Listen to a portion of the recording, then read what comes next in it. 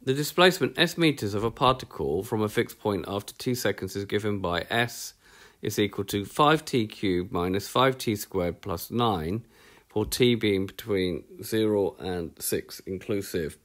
What was the velocity of the particle after 3 seconds? After how many seconds was the acceleration of the particle 0? Okay, so if you want to find velocity from displacement, you have to dis, uh, differentiate displacement with respect to time. So s is equal to kt to the n. If you differentiate that, you means you bring the power down in front, write down the same thing, and reduce the power by 1. So we've got s is 5t cubed minus 4t squared plus 9. So doing finding d s dt, that means bring the 3 down in front. So it's 3 times 5 is 15t. Reduce the power by 1, it becomes 15t squared. Same here. Bring the 2 down in front. Uh, minus 2 times 4 gives me 8 t, and if we reduce the power by 1, 2 minus 1 gives me t to the 1, which we don't write in. And if you differentiate a number, you get nothing. Right, we want to find the velocity after 3 seconds, so if we put t is equal to 3 in here, because this is v, v will be 15 times 3 squared minus 8 times 3.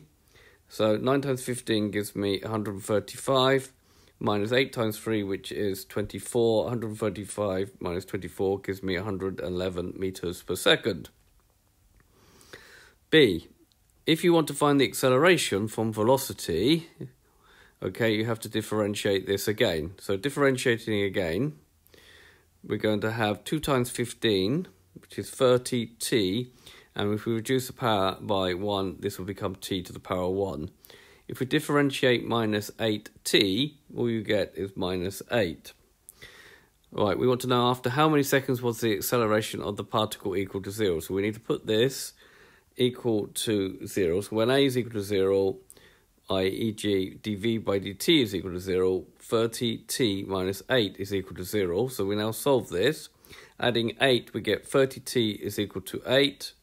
Dividing by 30, we get t is 8 out of 30, and then we cancel down our answer. So t will be 4 over 15 seconds. Make sure you get the correct units for each part. Okay, so this has been a, a video to, to help you find velocity and acceleration from displacement. I hope you've understood, and I thank you very much for watching.